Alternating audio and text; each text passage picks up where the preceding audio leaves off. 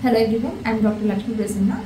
I belong to 2017 batch. I did my UG in Government Siddhartha Medical College, Vijayawada.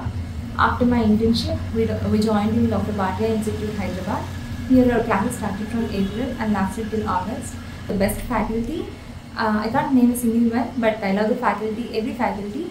But uh, personally, I was a bit a bit weak in medicine and micro.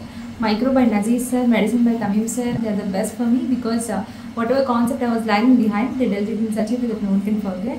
Especially Thamim sir uh, told us the ECGs, acid-based disorders, and all the critical and crucial topics for the exam in such a easy way that no one can even imagine. And once we heard that, we never forgot the ECGs again. And uh, apart from the classes, the testing part is also good here. After every class, we had post-class tests, and then for the four after the four subjects, we have cumulative test. And then after the syllabus got completed, we had the revision program that is called ERP here. And in this ERP, you are given a schedule for the each day and each time. We'll have, we'll have topics to read, and then accordingly, we have telegram quizzes here.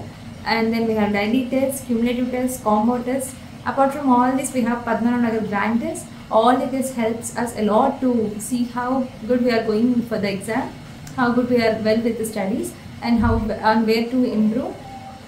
Uh, so personally, I'm so thankful for the Bhatia team